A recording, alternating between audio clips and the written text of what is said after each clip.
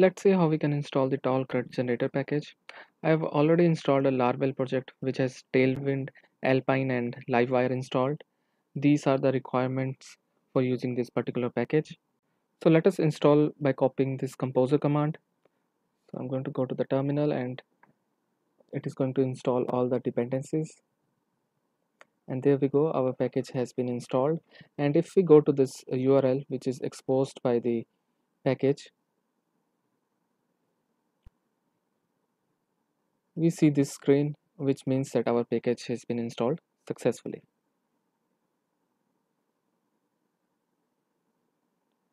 Now if we check the documentation, uh, we see that the preferred way to install uh, to use this package it is recommended that we disable the route from the config file. Uh, now this way uh, we have full control as to which user can access this page and also the config page is going to use your application layout so first thing that, that we are going to do is we are going to publish this config file using this command.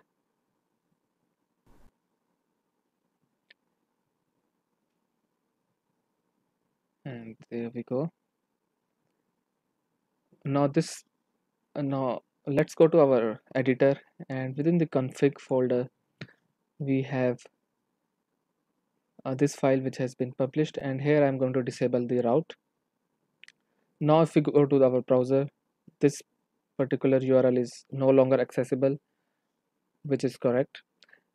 And now what I have done is I have created this route. This is a simple route and I have given it a middleware of auth so only uh, logged in user can access this page. And if we check this view it is currently empty. Uh, it and if I go to this route from the dashboard I have this CRUD generated menu. It is currently empty. And if we go to the documentation we see that we need to include this livewire component. So I'm going to copy it and paste it over here. And now if I reload this URL we see that our package is now available on this particular menu. So this is how you can install the package